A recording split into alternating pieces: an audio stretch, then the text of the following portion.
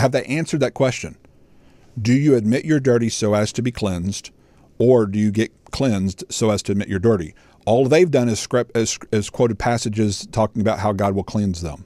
Doesn't say anything about what the person does beforehand, at least in this passage. Now, in Ezekiel 18, it does cast away from your transgressions and make yourselves a new heart. So, this passage does say you're to, you're to cleanse yourself by, um, by repentance so as to be made, a, a, so as to be given a new heart. God will give you a new heart if you if if you admit that your heart is corrupt and you need a new heart. If you fall on the ground like the publicans, say, "I'm a woe is me, I'm a sinner." He walked home justified. Luke 18 says. Who walked home justified? The guy who fell on the ground, humbled himself, and said, "I can't do this. I can't save myself." You're responsible to do that so as to walk home justified. He's not justified, made right, in order to fall down on the ground and admit he's unclean and is unjustified. In uh, Ezekiel 36, 26, I mean, the understanding from that in which Ezekiel is giving us is that it is God Himself is the one who gives us the new heart and new spirit. I mean, that, that was a gift from Him. And, and I think, and I'll be honest with you, what, what he's doing here in, in 1830. And nobody denies that he's the one who gives the new heart and the new spirit, which is what I've said over and over and over again. Okay. But what your your you team you you guys are saying is just in the same way that God gives you a new heart and a new spirit, he he gives it to people arbitrarily prior to them confessing. And what I'm saying that's not the order in the rest of the text. The order in the rest of the text is that he confesses so as to be given a new heart and a new spirit. And these verses don't say anything about what the man does because it's just listing out what God's going to do to his people. It doesn't say who his people are or what they do. It doesn't have anything about their repentance. But you're surely not denying that repentance takes place, are you? Of course you're not.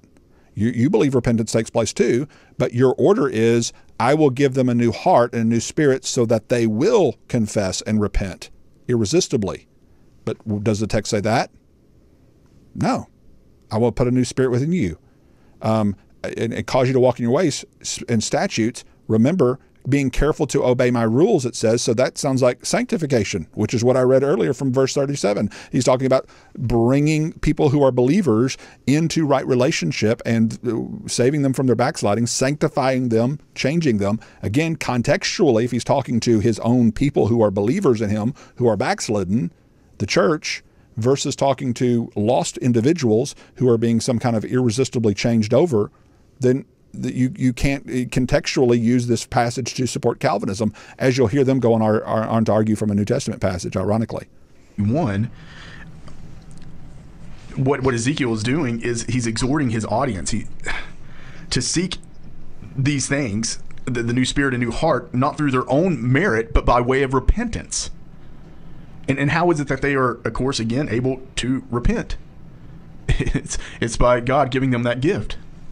In, in Okay, so uh, he, and he's right. Everything he said was right. Um, that it's not through works, but it's through repentance. That this is the means by which to do it. But then he qualifies that by saying, "Oh, but repentance is, has to be caused by God." And he uses uh, verses, a couple of passages out of the New Testament, um, which we'll go over in just a second, that that talk about repentance being a gift of God, and th- he thinks that being a gift of God means it's effectually caused. When does a gift have to be effectually caused in order for the giver to get full credit for giving it? Doesn't. A, a gift has never been thought of or taught of in any other context except Calvinism as being something effectually or irresistibly applied. So, if I were to grant, matter of fact, let's just look at this. If I were to grant um, repentance to the Gentiles, if if granting means to effectually cause it, doesn't that wouldn't that necessarily grammatically mean that every single Gentile would repent. Okay, so look at Acts 11 18. Then they heard this, and they had no further objections, and praised God, saying, So then God has granted even the Gentiles repentance unto life. Does that mean every single Gentile will repent? Well, what it says. He's granted Gentiles uh, repentance unto life. So that means every single Gentile must repent.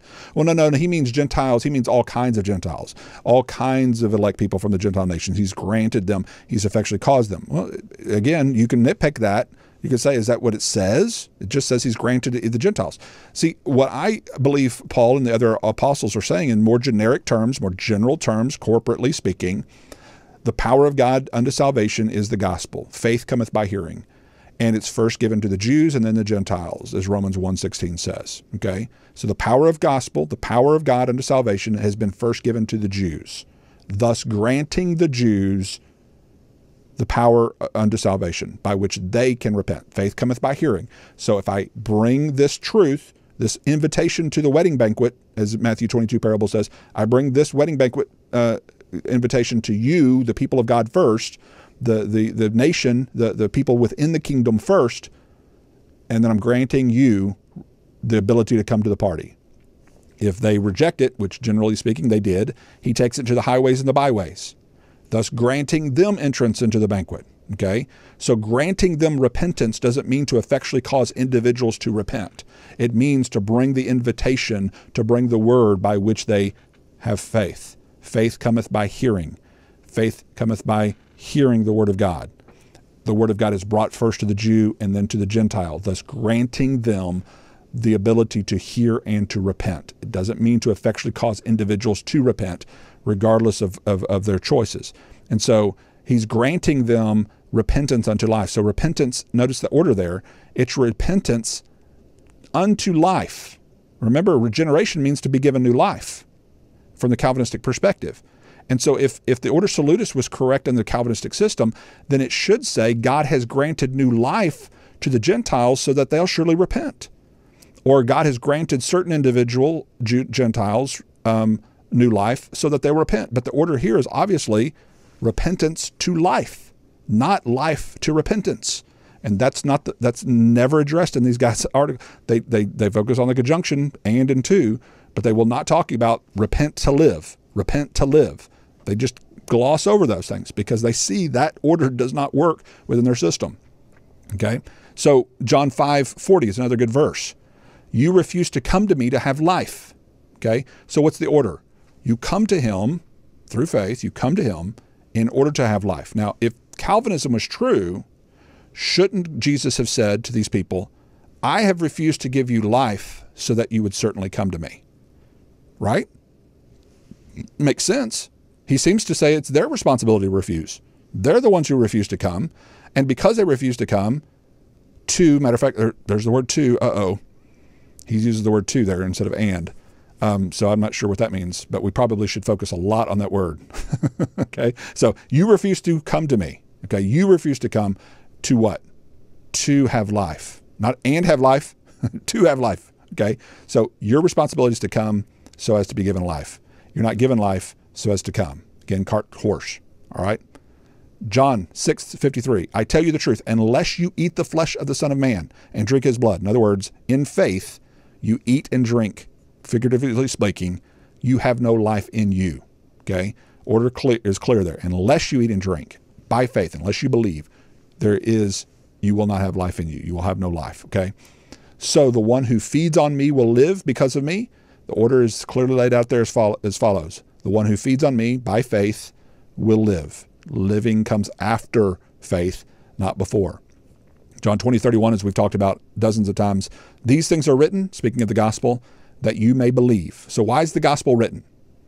It's a gift. Did, did God have to write these words down and send them to us? No, it's a gift, isn't it? So, that must mean if God gives you a gift by writing you down words so that you can understand them and believe them, uh, so that you may believe. Therefore, he must effectually cause you to believe in order for that to be a gift anymore? No. These things are written are a gift regardless of whether you believe what he's written or not. But the reason he's written in these things is that you may, not that you effectually will, but that you may believe that Jesus is the Christ, the Son of God. And that by believing, what happens? Well, um, you're, that uh, it should say, if Calvinism is true, it should say, and that by, be, by being made alive, uh, you may believe in his name. But that's not what it says by believing, what may happen? You may have life. So, how are you given life? By believing, trusting in Him. Order is very clearly laid out.